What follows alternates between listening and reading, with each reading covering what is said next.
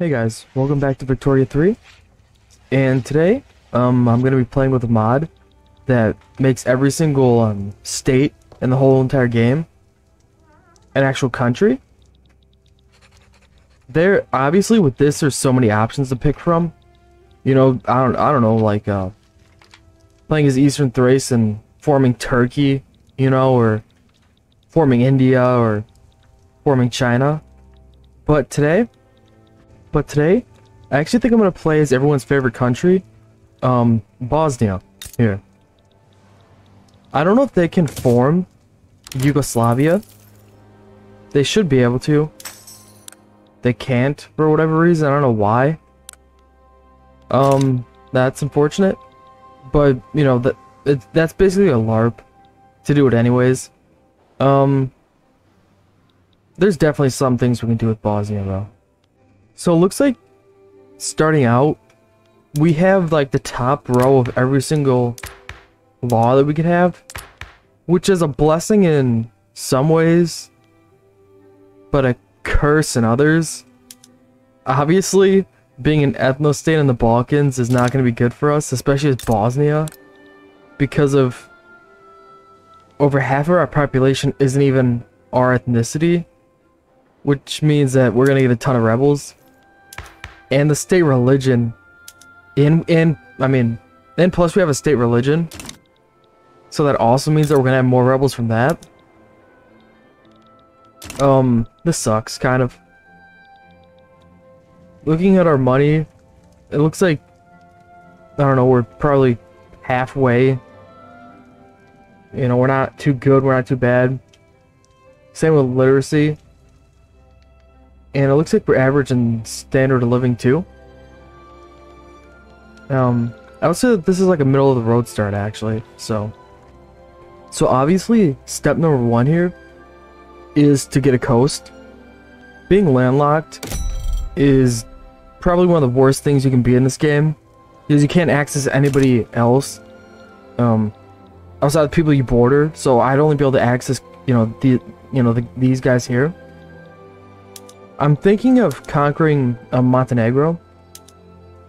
They also are majority Serbian, and um, Serbians uh, the majority in Bosnia. So I'm pretty sure that they won't hurt me too bad. This might hurt me though. Oh, actually, we we are or Orthodox too, so that's good. Um. Yeah, it's much better than conquering Dalmatia here. Also, what's this name? Bosnian. Bosnian GDP. That's that's something. Since we're in the Balkans, this is probably the best choice to make. Lucky us. Alright, so we just um enacted National Militia. And I'm actually starting to think the National Militia's OP. We have so many uh, battalions we can actually raise now. And compared to like Serbians, uh, let, us see what they actually enacted. They have a ton. I don't know why. Maybe there's more population down here. Not really. I don't know why it's like that. But anyways, the point that I'm trying to make is that I'm confident in... Oh, jeez. They have a ton of allies, apparently. God knows why. Let's see.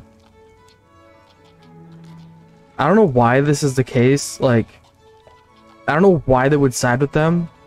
Like, everyone should be neutral. Like, everybody just started improving relations. Let's see. Yeah, like, they haven't even improved relations with everybody yet. They'll side with them. That makes no sense. Um, let's see. Maybe the best choice that is to actually go for um Slavonia here. Because this guy can't reach him. And this guy's weak. So I'm actually gonna go for for uh, Slavonia here.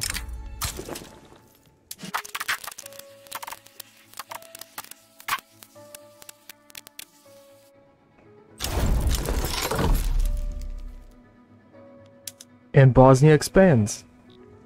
And just from taking uh, Slavonia here, we have like shot up in our rank to the 25th greatest power in the world. I'm pretty sure it won't be too difficult to become number one. All we really need to do is conquer probably like 10 provinces and we'll be the biggest in the world, so I'm not too worried about, you know, not becoming a great power. And I think I'm actually going to become friends with uh, Northern Serbia here. It's a lot better to have have this guy as an alliance than not and have to deal with him in wars constantly. So, yeah, I think that this is the better option. And I think it's time to take out our fellow Serbian friend here. That was easy. And this is for the best. So, unfortunately, it looks like conquering uh, Montenegro right now it probably isn't the best idea. All these people can reach uh, Montenegro. Well, if I conquer Dalmatia here, um, I'm not sure if uh, Lancashire will actually show up. Um, I know that Skopje can't. Um, I think I'm just gonna risk it and take over Dalmatia because of a coast is what we desperately need right now at this point. So I'm just gonna go for it.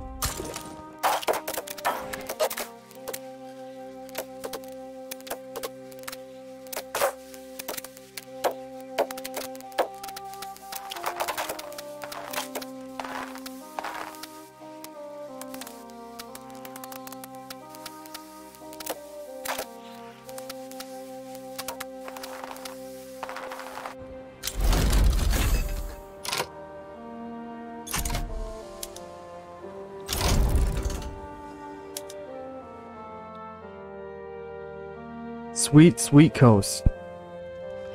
Alright, I, I think I'm actually gonna go for this now. Alright, good stuff. And it looks like southern Serbia is right for the picking, so I'm gonna go for them.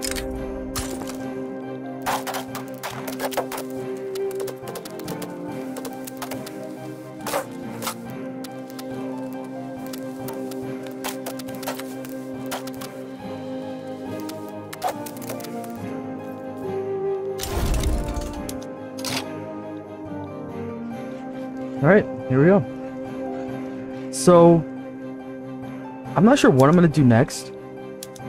Especially with, um... Actually, I'm going to do this right now. Because right now, I'm trying to bankroll, um, Croatia and, uh, Trans, uh, Trans Danubia here. Because I'm trying to make them... Oh, look at that. I can actually do it right now. So I'm obviously going to do this. You know, the bigger my customs union is, the better. And I'm just gonna do this also.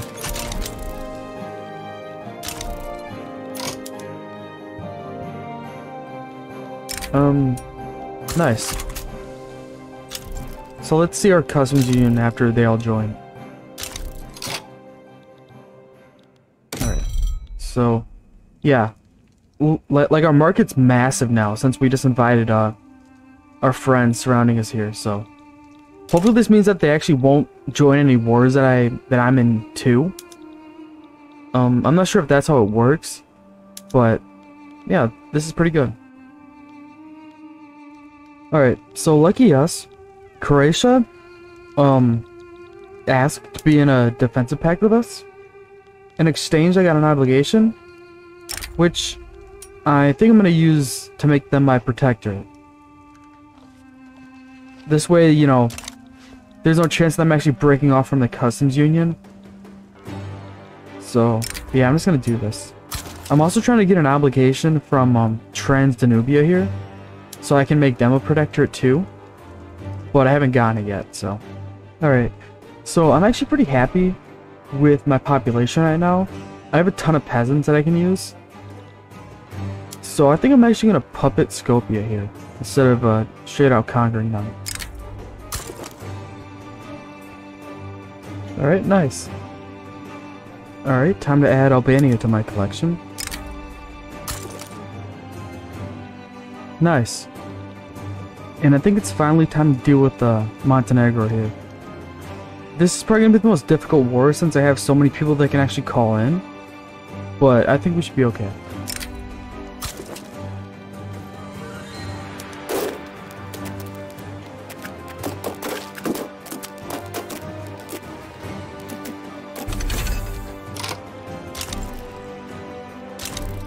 I'm like, yes, they actually backed down. This is good. Alright, so I think I'm actually going to end this video here. Due to one reason. And that's because of, even though I have a mod, in, a mod enabled right now that also makes the AI more ambitious, it looks like nothing is really happening on a large scale. We're 20 years into the game, and there's like only a few things I can notice that are different. Like, uh, Kiev has this protectorate, and uh, Campania has um, taken over this state here. And I think that at this point we're unstoppable. Um, you know, because because like no way I can even uh, step up to us. We're way too strong with the power base that we have right now. Um, I would say that we did the the goal of you know, creating Yugoslavia, even though we can't technically create it, because of um, our markets, we have this guy is an, is an alliance. If I ended this alliance, I could probably easily make him a protectorate. Um, Croatia, and we also have uh, Transnubia here. Um, but yeah, if you want to see more Victoria 3 videos, uh, just let me know, and thank you for watching.